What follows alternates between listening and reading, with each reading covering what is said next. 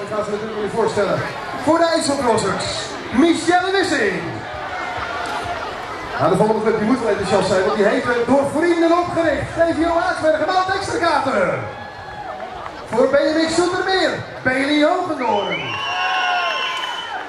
Voor fietsvereniging Vogels, Steffi Kers. FC Unitas van volgend jaar dus het NK BMX mogen beleven. Kim Huizing. Voor BMX Apeldoorn, Danik Nikkels. Voor All Stars BMX, Mila Koel. En last but not least, door vrienden opgericht, Monique van der Valk.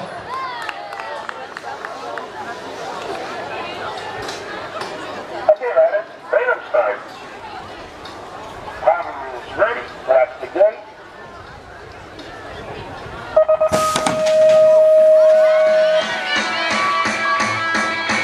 Mooie start daar voor Monique van der Valk hoor. Die is heel goed vertrokken, zit er in de druk op. Maar Kool die volgt en zit er in het bij van de Valk.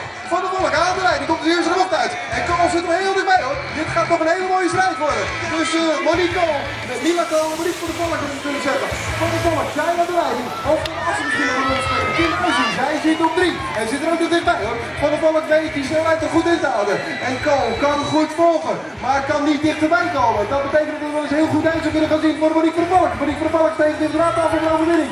Zij ziet daar de titel, de trui hangen. En het is inderdaad Monique van der Valk die